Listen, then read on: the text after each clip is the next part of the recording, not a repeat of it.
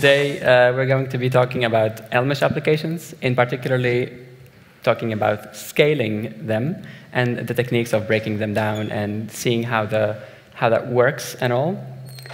So um, let's get started already. We have a lot of things to talk about today, a very long table of content. Basically, the introduction already started. We're going to, um, because scaling is usually a, a subject of, uh, an advanced subject, I do want to go back to the basics because I want to get everyone on board, even if you don't know Elmish. So I will start with the basics, but we will remedy that real quick when we uh, start making some bigger applications. We'll talk about what is a program, Elmish program. We'll definitely focus on commands, commands in Elmish. They are very important, and they're uh, very overlooked when we talk about um, documentation, when we talk about libraries. They're very much overlooked.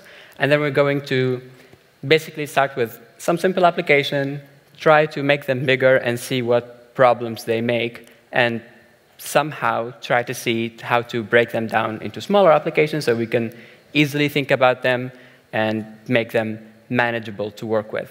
So this is basically um, this is basic, basically the talk about scaling applications. It's not that we are scaling them so that they run faster. We are scaling them so that we can work with them in a manage manageable way. We make them smaller, make them smaller pieces, and wire these pieces together to make bigger pieces, and hopefully it all works the same as it, as it did when it was the big chunk of spaghetti. So we'll look at uh, the challenges of breaking things down, and how to uh, build child programs and wire them up. And at the end, we'll talk about a little bit of ongoing development and some resources to learn more. Well, introduction is already doing this. But uh, yeah, so scaling Elmish applications, I think it's a very important subject. It's always um, uh, not very well documented, in my opinion, because every time we, we go, uh, if you go to Elm, you start with the basic, you see the infamous counter example. I know many people are just done with that. We want the actual application, just enough with the counter. Uh, ironically, I do have a counter example in my slides today, but nevertheless, when you start walk, when you start going to like now you, your application becomes bigger, you can't just use the same concepts you use with your counter when it becomes bigger. It, it's just it grows very rapidly, and the, the code just becomes spaghetti. So we will look at it as well.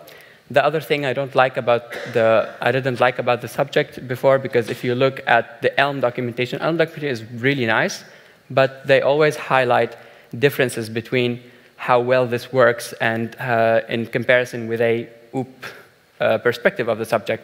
They're trying to sell the the, uh, the good things about Elm, but we're already sold on these stuff. We want the nitty gritty stuff when things get bigger. So let's get started. Another counter application, the basics of Elm. I like this example because it already tells you a lot about how Elm works. You have the essential ingredients, basically. You have your state. In your state, you sometimes we call them the model. I like to call them state because it's what is the data you want to keep track of while your application is running. So in this case, we want to, what we want to keep track of in a counter, we want to keep track of our current count, right? And we have a message, and I like to think about message is an event. So events can occur to which your update, to which your uh, application will react to. In this case, my application only react to, reacts to increment and decrement events, and when that happens, some logic will run, which is in the update function. If it's an increment, I make a new state depending on my previous state. If it's a decrement, make a new state based on the previous state. And then at the end, we have the view, which is a function of the current state. You will build the view based on the current state. So the, current, so the view takes in account, um, takes in account the state uh, in every shape. So the view doesn't know how the state is updated. It, know, it knows, I have my state now, I want to build UI from it. You can even define view before your update function. So that's the very basics. Yeah, this is how it works. I use GIFs because I make sure they work. So um, when we say when we talk about Elm and basics about them, we have this uh, concept of a Elm program. An Elm program is the is the smallest thing you can make out of an Elmish application. So in this case, every triplet of a uh, init, update, and view you can call them a program. Because if they, when, when they work together, they will form a program. And when you have, uh, when you have this thing, then your whole application is consisting of a single Elm program. I think it, program, it's like, you can think of it as a component, but again, if you say component, it will say, oh, not in the React sense of a component, it's a component in the sense that these things work together in an isolated manner, right? So we've seen that, and then we have commands. Because um, if we take back, if we take a look back here, this is very, very limited. Like, I get um, my message, and I change my state, and there's, um, and that's it. My messages only uh, only come from the, from my from my user interaction. I can only have user interaction that trigger these events. But in an application, it's not just the user, inter uh, user interface that is triggering these events, and they are not just synchronous events. So that's where commands come into play, and commands are responsible for scheduling async messages. They're, uh, they're the source of a lot of confusion, and this is how I like to think about them. They schedule async messages. So when you have a command of a message that's basically saying, well, when this thing will run, at some point it will dispatch that message. This, this message will be sent to the Elm program at some point in the future. And uh, to just complicate our uh, counterexample a little bit, we have uh, two more messages here, increment immediate and increment delayed. You see that immediate and delayed already give the sense of time because they're scheduled at some point. And the increment and decrement are implemented the same way. You have the, your previous state, we compute the next state. We're not scheduling anything, so this in the synchronous uh, sense. But, when, but then we have increment immediate.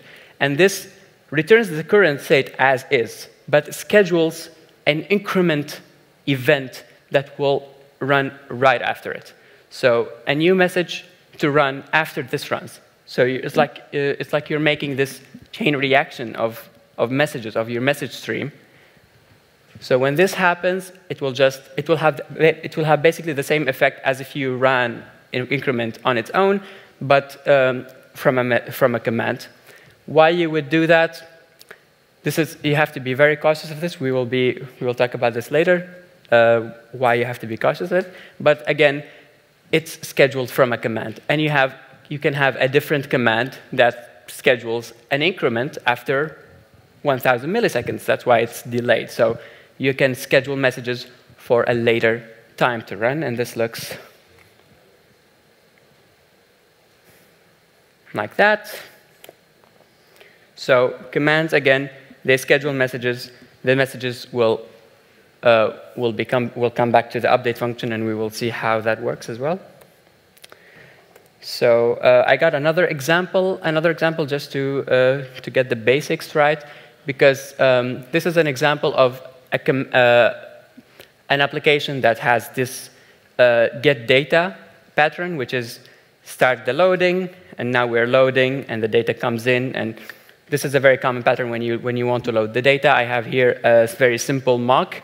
Uh, when you start the loading, the state becomes loading, and after one second, we will receive data. There's nothing that can, wrong, that can go wrong here. Uh, you can think of this as an example of getting the data from an API, but here I'm just saying, well, I want you to dispatch this message after, uh, after one second, which will come here, make my state loaded data, and schedule nothing afterwards. And of course, when you reset, you go back to initial. This is just to um, enforce the idea that your view has to account for, your, for every state you can have while application is running. The view will account for your state while in its initial mode. Then we will have a button that will start the loading. In a normal application, you have a button that loads some external data. You will have the state when, when it's loading. You have a view when it's loading, and you have a state when it's loaded. And in this case, after something is loaded, I will show the message, and I will be able to reset back. It looks like this. We have start loading, and this is my very high definition GIF. Yep. it's here, and you can, oh, you can, re you can reset, just we'll skip that part. So you get, uh, you get, you click on reset and your state uh, goes back to initial. All right, why did I show these? Um, oh yeah, this, this, is, this could be a more realistic example of what I've just shown. We are asking some, for some data, and we're saying what messages to dispatch when the data comes in, if, uh, if there was an error, etc., etc. So this is an example of it, but we won't use that. It's just an, uh, I use the, the simplified load data example. All right, I showed you these two examples because I want to combine the two in a bigger application, right? I want now, I have these two different programs, basically, because the, everyone every component has its own, has its own uh, way of interacting. You have its own view, it has its own updates, has its own init, and we want to combine them. Because, for example, if you have a web application, you can have multiple pages, and you want to uh, develop each page as its own thing. You don't start with your application and have, you don't mix the messages and you don't mix, you, you don't want to mix the messages and you don't want to mix the state. As you will see, this is not very, um, very nice to have. So we will start with spaghetti and we will see how that goes. So demo time to go here, apps, spaghetti zero, and I think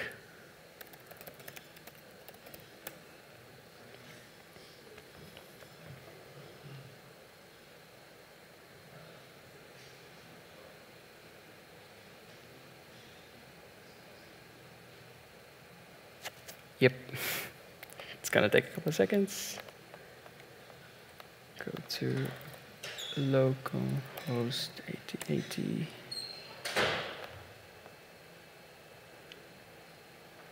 Wait for it to run. There are two applications that should go fast. Yes, yes.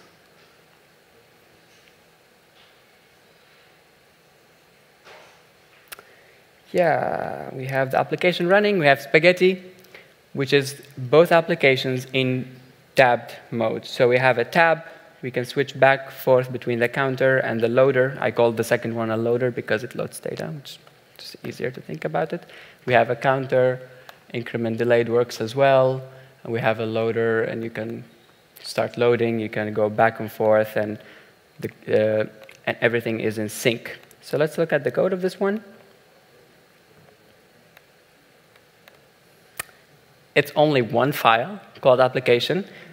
This is the, the first thing you try when you want to make something bigger than uh, your counter. You just, you just put more messages in there, and, you, and, you, uh, and, and the state becomes not only the state of your application, but, only, but also like we have all the fields from all our, our children, because the, the count is is, uh, because the count is for the counter page and the loader is for the loader page, but also our uh, bigger app will be uh, will also be tracking will also be tracking on what page we are, so that we can switch between between the tabs and uh, and the state will change between the children as well. In our in, uh, so I have the have pages here, I have loader state and the state of the app. Next, I have the messages that can change that can change the the application, and these are from both the counter and the loader, and the navigate to is like the uh, is, is a message that is specific to the app itself because I want to switch back and forth between the messages. In the initialization, I init both I init all the fields like usual. In the update, everything is the same as it was um, as it was when, when they were when they were alone, when they were separate. But now we just have these multiple paths of where code could execute, right? And then we have the navigate to page. This is like the extra, the extra field that is specific to the parent, but the others are just specific to the child, to the children. We have some, uh, some helper functions. We have the render with some navigation. It's not really important. We have just like the nav item that will switch back and forth between the, between the two and and if, it's, um, if the current state is a, is a counter, then load the counter app. If it's the current state is a loader, then load the loader app, etc., etc. And then you could put all things in a div and, and run it. Well, this works fine for this very simple application. But as you can see, I hope, I hope you're seeing it too, uh, the update function grows very, grows very big, very fast, because these two simple applications, a counter and a loader, like they're the simplest thing you can have, and your update function is already starting to have all these branches of code.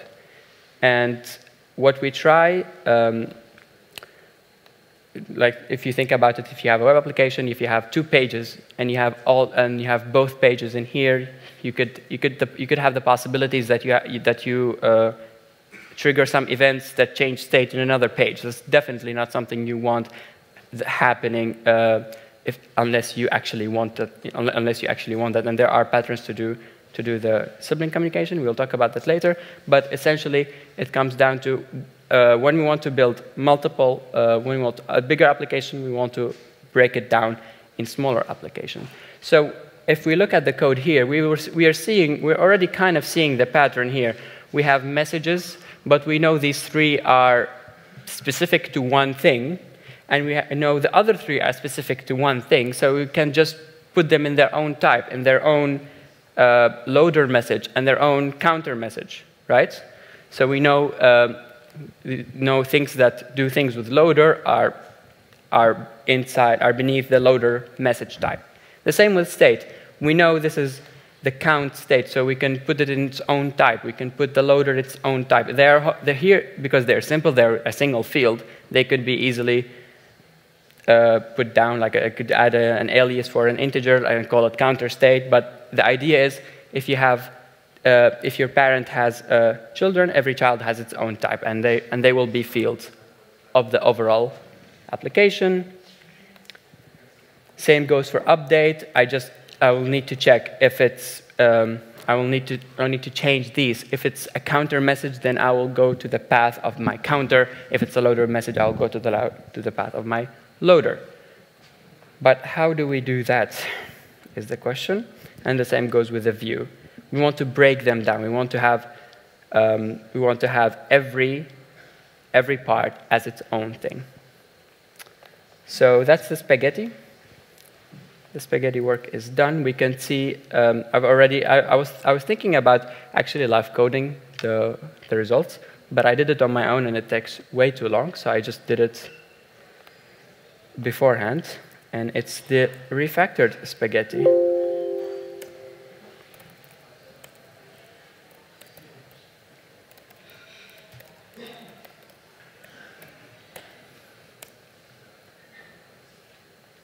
So while it works, while it starts running, I will take a look at my first attempt at refactoring them.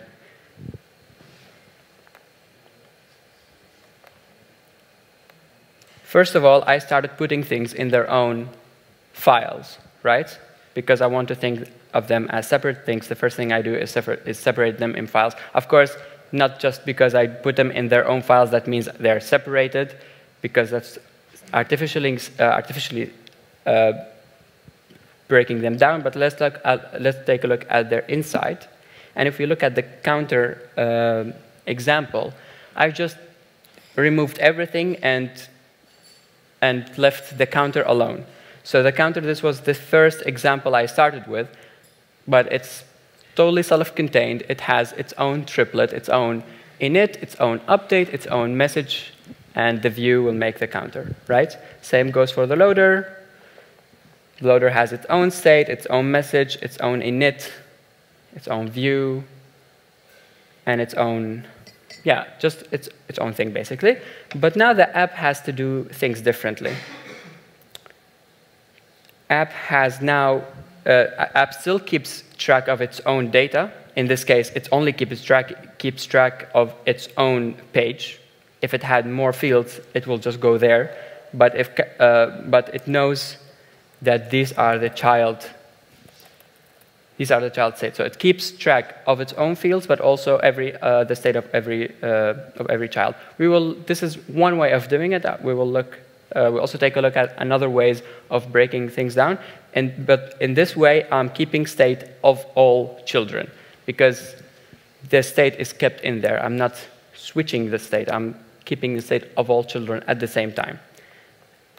I've broken down my messages into, well, I could only have a counter message, which will map to the messages from my counter, and like uh, um, from my from my counter, like the increment and, inc and decrement and decrement delayed, and put them in their own thing. Then I have my initialization, which is basically if you want to initialize a parent, well, you initialize the children, and the state of the children, the initial state of the children, is whatever the init of the of the uh, separate children give you. So we have the counter. We initialize the counter we get a counter, an initial counter state. And at the initial state of the parent, the initial state of the parent, well, the current page, we just, use, we we just choose that because it's in this state. But the counter, the initial counter, we don't know because that's given to us by the initial by the initialization of the counter itself. So when you want to initialize a parent, you initialize all the children, you give the initial state to the, to the state of the parent because the parent wants to keep track of the, of the children as well. We will take a look at the commands. Commands are a different story. The map, we will just take this, uh, just skip this for a moment because I want to talk about the updates, uh, updates first. So the first thing you initialize is the data, and the second thing we, we want to update is when we, is when we get is when we get a message. Do we get a counter message? Well, if we get a counter message, and we're keeping track of the state of the counter, and we have a, and we have a way of updating, namely the update function in the counter. We just pass, the, pass them both to counter there in the counter update, and we get a next state of a next counter state and some other command. So when we get next, the next state of the counter, we just put it in the current state, in the parent. So whenever the parent needs to update the children, it just tells the children, well, you update yourself and get me whatever you're updating. So whatever value you're updating, you get it back and you put it in the, in the parent state, right? So far, so good. Same goes with the loader. It's basically, it's basically the same all over the place. And um, yeah, we will talk about commands in a second because that's usually the confusion because we know if you have uh, because this is F sharp, right? If you have a big, if you have a big update function and you can break it down in smaller update functions because you can update parts of it and, and synchronize parts of it because that's just data. It goes, it goes, uh, it goes from top, uh, to top, down, top to bottom. But commands are not as straightforward. Anyways, we go to the render. Same here. We get a, uh, we check the current state. Is it are, uh, the current page, are we on the counter page? And then we wanted to view the counter using the current counter state. And we are making a new dispatch, a new child dispatch for the counter. Same goes for the loader. Same goes for the loader. We are making and uh, we're viewing the loader and giving it its state, its current state, because that's what we're keeping track of, and we're giving it a load, a new dispatch. So far, so good. I think it's building now. It's refactored spaghetti, so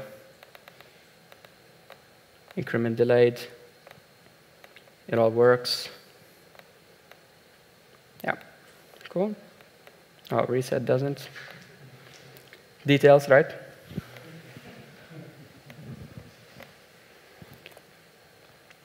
So I think it's clear now how the data is communicated. The, com the data uh, we and if I want to initialize application, I will have to initialize both of them and update application. If I have to, uh, if I have to update the application, I update based, based on the message, I'll update the child, and whatever new state I get from my child, I will just plug it in back to my parent, and I get a new state for the parent.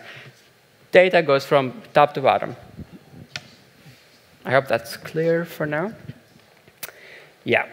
And now, we'll have to take a look at the dispatch, right? Because uh, the dispatch is not top to bottom. The dispatch does not go from app. Uh, just the, uh, if counter dispatches something, it's not going up to the app. I'll show you why.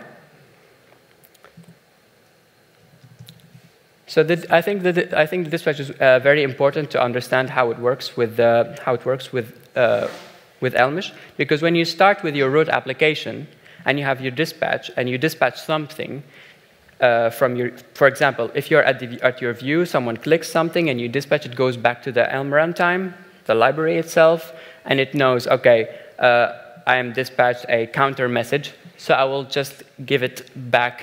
I will give the, I will give the message to the update function. That's how, um, that's how the update function works, right? If you, um, if I go to my spaghetti, that's the easier example.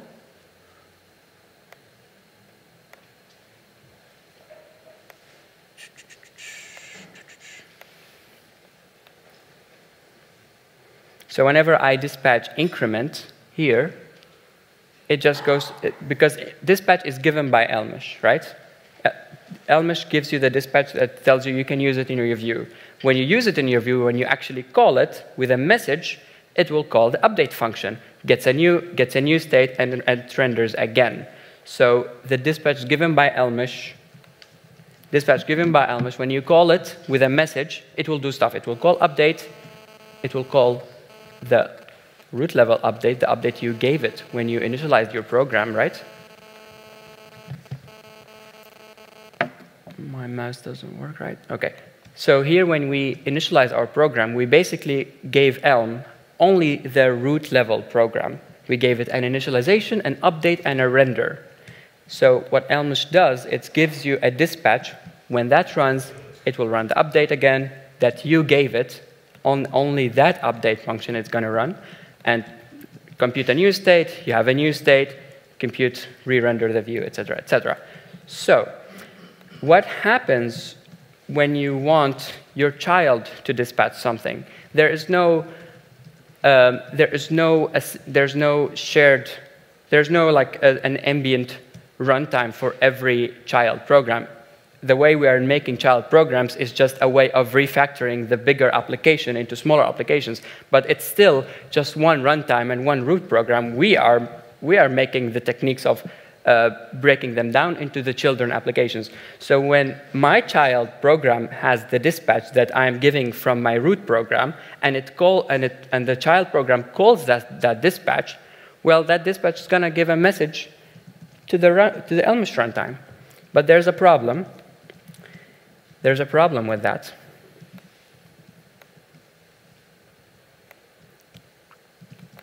Because this dispatch from my counter takes a counter message. It's the message of the, of the counter module.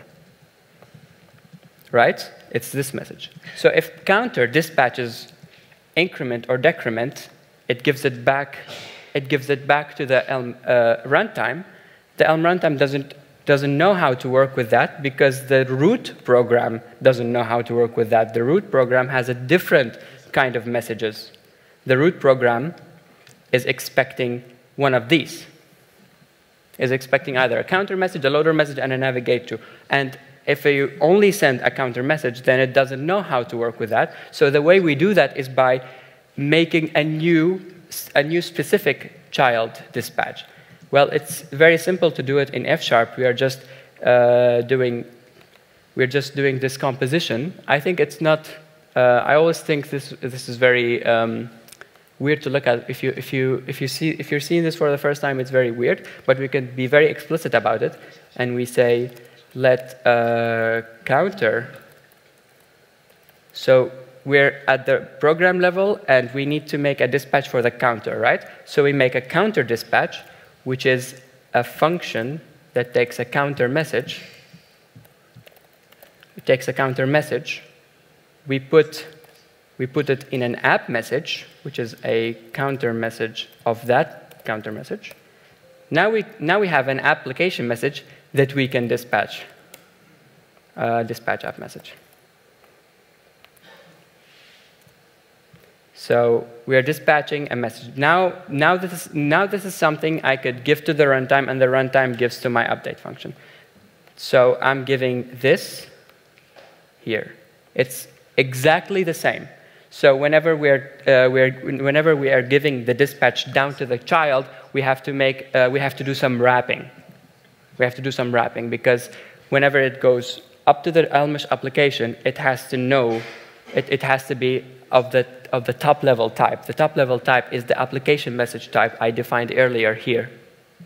So only then, the only then the app can react to that message and send the message down to the child in here. So after we've done the wrapping and the counter, and uh, after we've done the wrapping, and we are in the counter, and the counter dispatches increment, for example, well, which this, what, what the child dispatch will do is it will wrap it in a bigger counter and then move it to the Elm program that, uh, that will give, that will uh, run, run, the, run the update function and run the data communication program, run this diagram. But the thing is, when you have a child, it always go, goes back to the, to the main dispatch. So you don't have, so every dispatch of the child is actually just the same dispatch with uh, multiple wrappings done on it.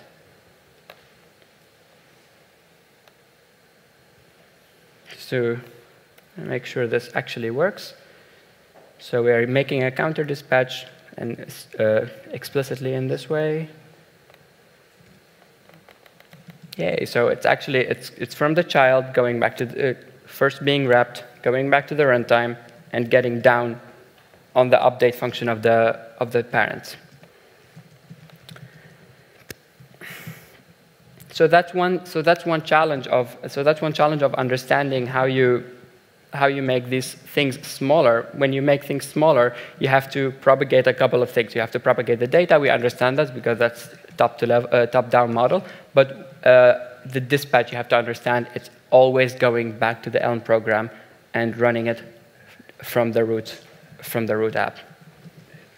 Same goes for loader. I could make it I could make it an explicit way, but I think you understand a counter message comes in from the child, wrap it in an app message, dispatch it. And when you dispatch it here, it goes, it comes from, yeah, I, I explained this.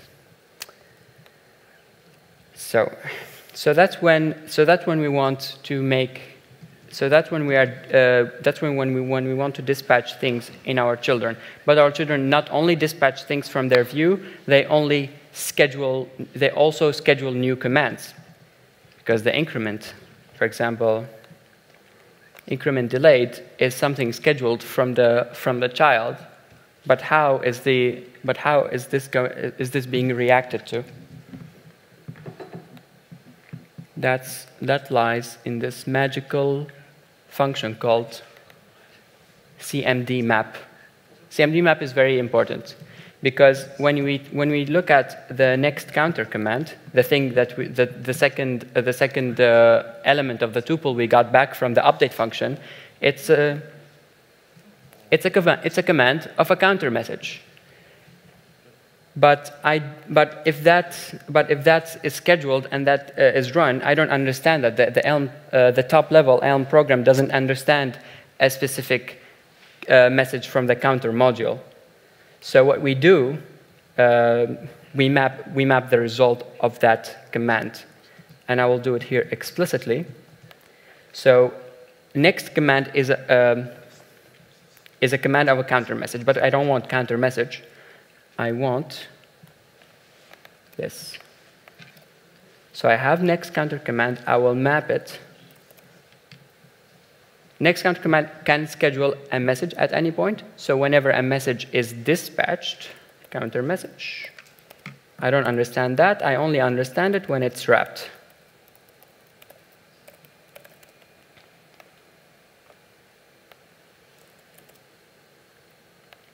That's the same thing. But this is being more explicitly about what's going on because uh, count, uh, next counter message can dispatch something that I don't understand, so I understand it by wrapping it in a counter message of this component, of the parent component. And then, and then it all works out because this, app, this uh, understands my, uh, this application understands my message and thus the Elm runtime as well. So, I think this is very um, very clear now because we have our root application. It gives the wrapped dispatch, and whenever uh, wrapped dispatch is called, going down, and we have the and commands being being mapped, being wrapped as well.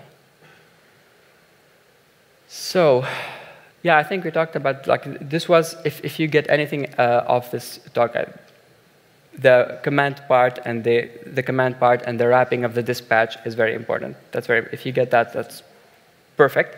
And now we can look, take a look at other division, uh, division patterns of, the, of your application, because when we started, I said we have all states, because we're keeping track of all states here, and having the, and having the current page as a flag, then you can switch, and depending on that, you show the current page.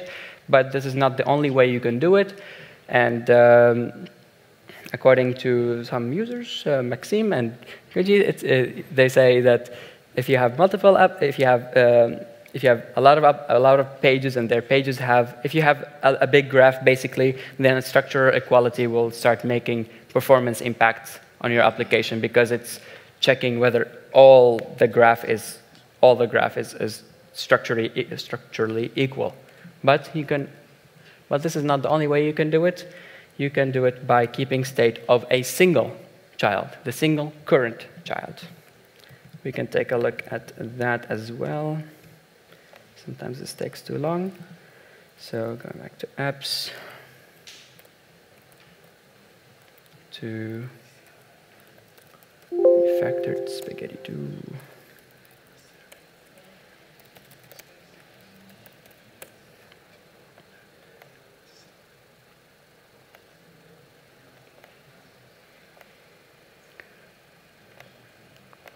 That'll be this one.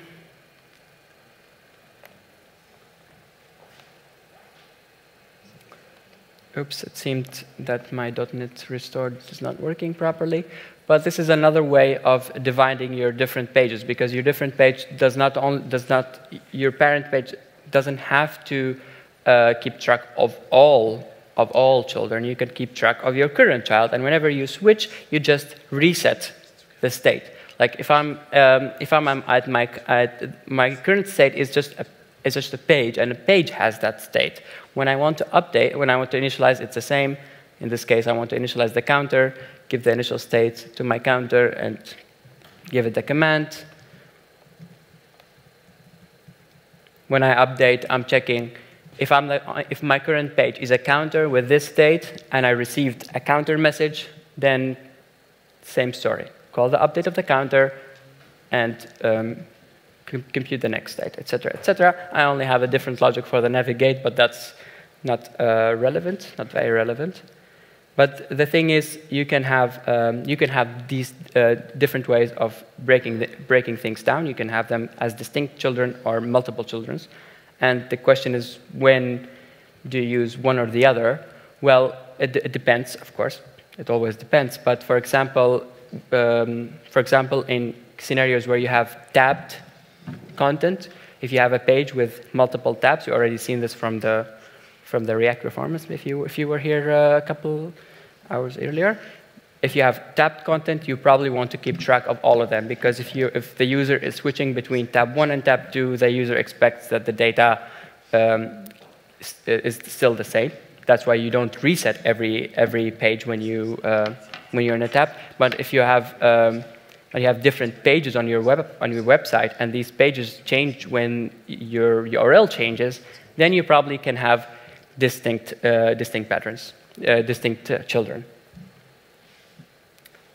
So we will see how this is different then. This is refactored spaghetti 2.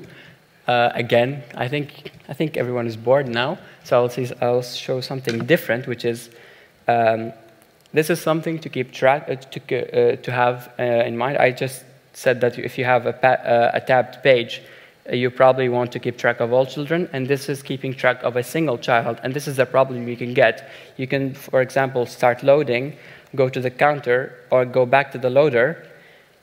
When you go back to the loader, the data is reset, but the command that is scheduled, it's still running in the background. So when it finishes loading, it says data is loading, even though I was even though I started, I, well, reset doesn't work, of course. But the thing is, if you're, if you're here and, and you go to the counter and you go back, the data comes in, but uh, I, I, was resetting. So this is something to keep, uh, to keep in mind. In Elm, we don't have, in Elmish, we don't have a way of canceling an ongoing request. So the only thing we can do now is um, having some uniqueness, uniqueness for the request so that when the data comes back, if you, um, if you switched and you got back and the message is, scheduled and got you the result, you can put some logic to ignore it. If you're, for example, I had this, uh, had this application where I had a multiple projects, and when you click on one, the data is loaded, and uh, when you, and the data also had, had tabbed image, uh, had tabbed views in them. So what I had to do, if I'm load, if I'm in a, if I am in a project and the data that comes back is from a different project, then just ignore it. So basically, just ignoring logic. For now, we can't for now, uh, we don't know how to. In, in Elmish, there's no built-in way of canceling an ongoing, uh, an ongoing scheduled command. So this is something to, to keep in mind. But for the rest, this is just another way of dividing your children into multiple components. So back to this one. Um, yeah, so when you start when you start building this when you start breaking things down, of course, there's a, a recommended uh, directory structure. I don't think this is of utmost importance, but it helps to um, it helps to understand how you put things in a different in a different directory. For example, if you have if you have small components, you could put them in their own file. But if they start to become really really large, you uh, you start putting things in their own uh, in their own file. So every component becomes a directory, and that directory has state update and render or view, whatever you want to call it. Or sometimes you also put your HTTP specific uh, command in an HTTP uh, in an HTTP file or REST file, however you however you like to think about it. But this is a recommended way. It's really easy to um, for uh, someone who's new to the new to the code base to understand where he has to go if he um, if he wants to learn if he wants to learn how it works. Well, if, you, if there's something wrong with the state in in that page, well, you go to the page. Um, so it, it, the thing, the idea is that the directory reflects the structure of the application itself. So you can choose whether you want to have in a single in a single file or have them broken down. So the design principles of this, what do we gain? What do we gain from this? Uh, what did we do and what did we gain? Uh, the children are basically isolated. That's the, that's the main principles. They don't know about their parents, they don't know about their siblings, because there's, there's no way the counter could do something to the loader. And same goes for the loader. It doesn't know that there is a counter, it doesn't know that there is something else going on in the, in the sibling or in, the, in some other part of the subtree of your whole application. So you have child that don't know about their siblings, and the parent has to manage the communication between, uh, between the children as well.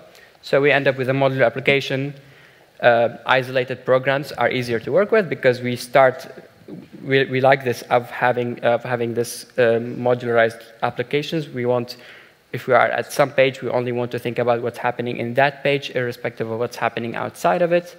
And yeah, IZED cannot change basically data from outside their program. They, they just they don't know how to. Their, their parent know how to take their data and do something with it, but in the context of a single program, it doesn't know how to change data outside of that.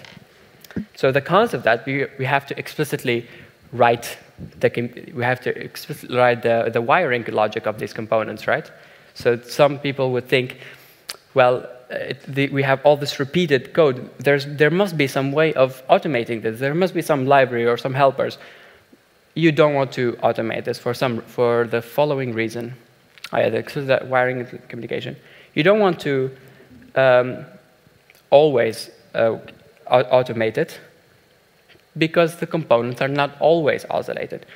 Yes, there are many cases where you want to have a single component communicate with some other place in your, uh, in your tree logic, in your, um, in your application. It doesn't matter whether, whether it's in this level or some other level uh, up in the tree.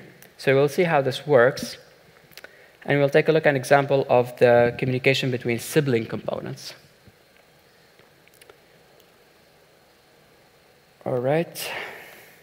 So I have the lonely siblings.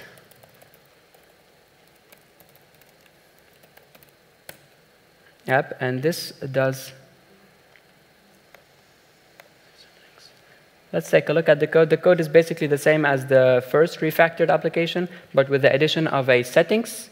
The settings has um, the, the, settings has just a, a factor, a, just a number basically, and it will change. Uh, the, and the counter has a factor as well. So we, we don't want to increase the counter just by one. We want to have this uh, one configurable, but we don't want to. But we don't want the configuration in the counter. We want the configuration be in the in the settings in the settings page. So it's wor it works. So I'm at the settings. I can change the set settings here, but uh, the counter still increments by one. It's not a bug. I haven't implemented it. So, um, so we're here. Every component runs on its own, but I need some way of I need some way of knowing if, if my changes change, if my settings change, I want to change the state of my counter. Well, if we look at my, if we look at the parent, we have here the settings message, right? And we don't have to, uh, we don't have, we don't have to react to changes in the settings because we are the ones who are applying the, we are the ones who are making these changes when the changes happen in the settings, that they happen because we called the update, we call the update function, and we, and we made a new state out of it. So at this point, I can just say, well, I don't just want my next state to be this, I want my next state to be my next state with, with, uh, with the counter to be, well, state dot counter with uh, with factor uh, state counter factor be my the next settings because settings is next settings dot factor This doesn't work for some reason because I need to put a factor alone. Oh yeah, next step.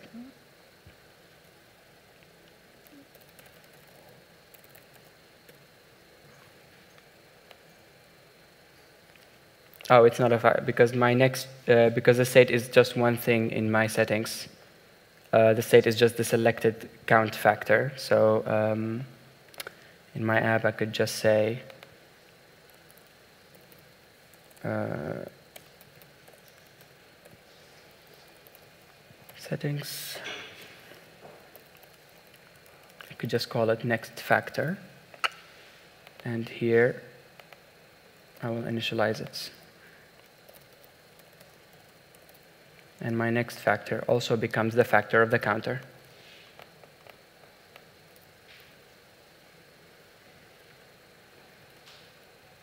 It has loaded, so increment by 1, settings, make it 10, increment by 10. So basically, what we did is we intercepted Yes, sure. Uh, what we did was we intercepted uh, we intercepted the message from um, from settings. We didn't intercept it because there's just one message.